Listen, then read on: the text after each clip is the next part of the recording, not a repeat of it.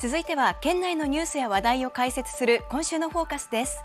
今日の担当は平川アナウンサーです。よろしくお願いします。よろしくお願いします。さて今日のテーマは何でしょうか？はい。今回取材したのは奥飛騨温泉郷にある筋肉と自然をコンセプトにした旅館なんです。はい。そしてそこで若旦那が28歳。私と同じということで若いからこその工夫がたくさんありました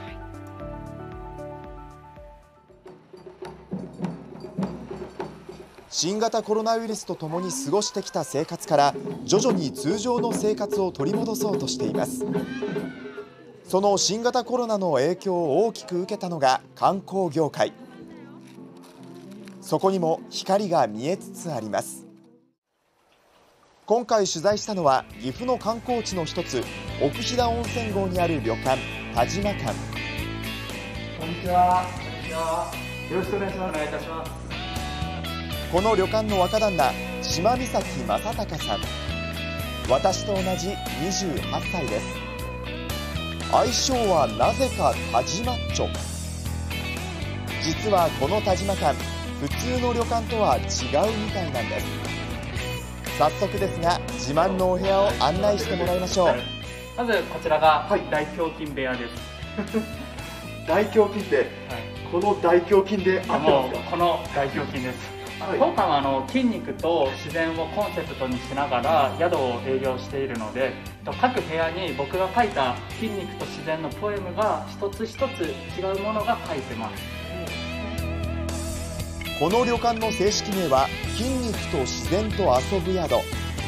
筋肉と自然をコンセプトにしている旅館なんです。各部屋には筋肉の名前がついていて部位ごとの特徴と部屋の特徴がうまくリンクしています。各所に散りばめられた筋肉を彷彿とさせるアイテム。なぜ筋肉をテーマにしたんでしょうか？とかあの建物は全然あのおしゃれでもないですしどちらかといえば古い方なのでちょっと僕の中でもそういうところが気になってましてなんていうんでしょうもっと楽しく自分らしくやっていこうっていう考えになってからよしじゃあ筋肉筋トレ好きだし自然をものすごく好きなので、まあ、好きなことを通じて宿をしていこうと思いました。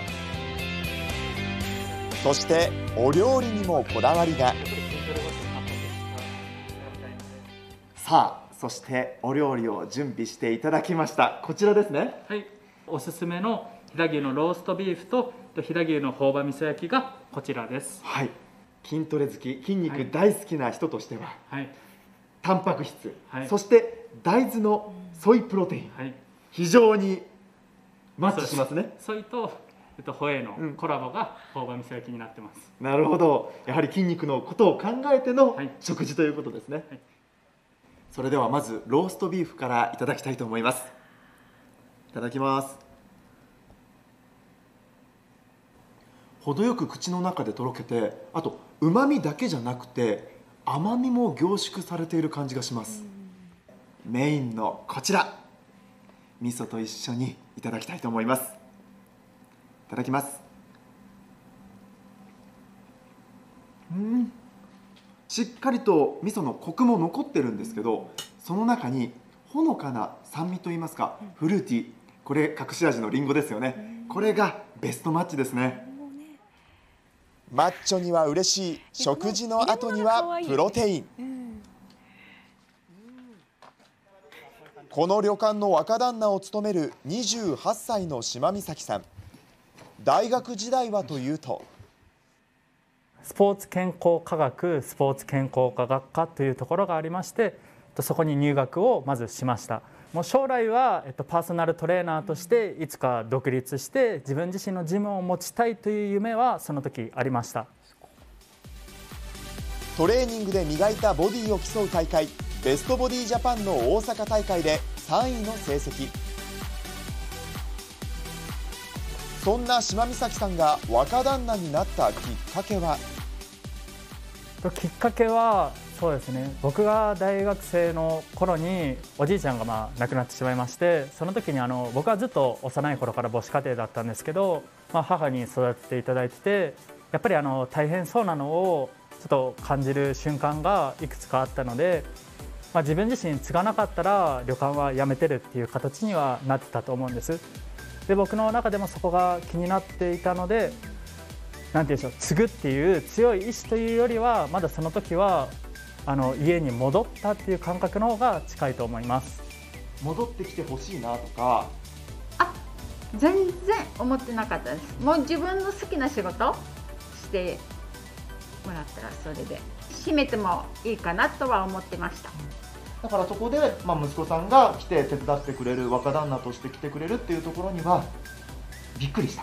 びっくり。半信半疑ですね。はっきり言えば。続くかなとまあ頑張ってくれてますね。本当に。息子いろいろアイデア出して自分でしてくれるしそれは一番助かりますよね。やっぱりなんて言うでしょう。親子なのでもちろんなんかちょっと言い合い言い合いというかそういう瞬間もありますけどやっぱり身近にいるなんていうんですかね。身近でいるからこそすごいなんかすごいなって思う瞬間が結構あるので多分母だからこそ僕も自由にやれてるのかなっていうのはすごい感じてます。二人三脚親子で営んでいる田島館にはたくさんのお客さんが訪れ島美咲さんの温かさに触れています。まずそのお宿を選ぶ際に子供をまあ受け入れていただけるお宿かなっていうのはすごく重要でやっぱこうお母さんとおかみさんと一緒に頑張ってらっしゃるお宿って聞いてきっと温かい宿なんだろうなと思って、その中でもやっぱり心遣いとかおもてなしがすごくしっかりされてると思います。なんかあの若い若いからって言って若い方だけを取り込もうとこうそこだけをターゲットしてるんじゃなくてやっぱあのどういった世代例えばまあこういうファミリーもそうです多分私たちの両親世代を連れてきても落ち着けるような感じになってるのかなというふうに思いますすごい筋肉があったすごいまず優しかった子供にすごく優しくてね。大ファンになっちゃったんです。どこ行きたい？って言うとラジマッチョ絶対言う。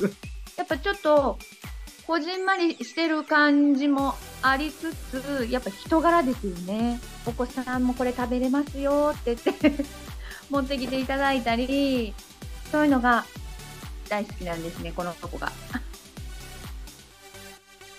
そんな中、観光業界に打撃を与えた新型コロナウイルスの流行。高山市の観光客数、流行前の2019年と比べると、流行後は大きく減っています最初の年はね本当に僕たちもピリピリしてましたし、まあ、実際にあのゴールデンウィークの、まあ、1年目はもうほぼほぼあのこのエリアはみんな休みましてね一番の稼ぎ時に商売ができないっていうような年でしたし、まあ、夏なんかもねいろんなイベントが中止になりまして、はい、大変な経験しました。そんな中島美咲さんは。とコロナの期間は都がの22部屋客室があるんですけど、えっと、12部屋に縮小してずっと営業をしてます。どうしたらいいのかなって毎日のように悩んでたことはいっぱいあったんですけどなんかさりげない笑顔を見る瞬間とかあとはまた会いに来たよっていう言葉が一番嬉しいのでそういう瞬間が僕の中では幸せです。奥飛騨温泉郷の未来とは？まあ、今2代目3代目っていうあの世代がですね、えー、戻ってきてくれている子たちも結構いるんですけれども、えーまあ、奥井田温泉郷はね、えー、今ピーク時170件ぐらいあったあの旅館民宿が、えーまあ、半分近くに減ってます、まあ、そういった中でね新しい子たちがこうやって帰ってきてくれるっていうのは本当に我々にとっても力強い、えー、ことですし今後、まあ、一緒になってですねこれから先の奥井田温泉郷をね若い人たちと一緒に、えー、作っていきたいと思ってます心に素直になった時に僕が一番ワクワクするのが今は筋肉と自然なんですけどそれが何て言うんでしょう僕が30とか40とかなった時に僕自身がもっと感動することがあったらそこの名前にとらわれずこういう形式とはとらわれず僕の心に聞きながら一番好きなことを仕事にしてお客様に感動とか優しさを届けれる宿にしていきたいと思ってます。これからも島岬さんの周りにはお客様の笑顔があふれることでしょう。島岬さんのチャレンジは今後も続きます。はい。若旦那のねこのアイディアと人柄でこのコロナ禍吹き飛ばしてほしいですね。さあそしてあれ？平久さん、はい。いつの間にそうなんです。マッチョ T シャツじゃないですか。これがロケで着ていたタジマッチョ T シャツ、あら。タジマ館で販売もされているんですが、はい。澤さん、こういうのがあると思い出に残りますよね。いや確かにまたねいい筋肉。映映えますよね。えますね、はい。でこれなんですけどもやっぱ田島館で販売をされていて思い出に残ってるっていうお客様の声もありましたしええ。あの取材を通してやっぱり同世代の活躍うん。元気そしてパワーをもらうことができた取材でした。ぜひ筋肉に自信があるという方はこの田島館にぜひ訪れてみてください。ここまで今週のフォーカスでした。